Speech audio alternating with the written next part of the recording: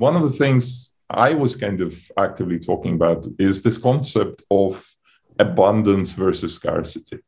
And I think what happened with us, we kind of we came from we kind of literally made that transition from the world of abundance to the world of extreme scarcity really quickly.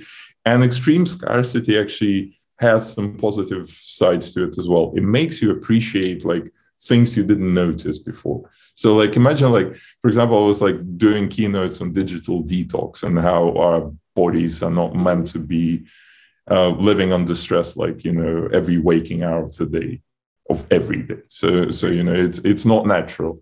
And I was telling people my own experience because uh, when I did my first keynote, somebody asked me, "Like, did you try any of the like digital detox practices you're talking about?" I was like, "No, I'm a hypocrite. Of course I didn't." So uh, as soon as I was done with that keynote, I did try.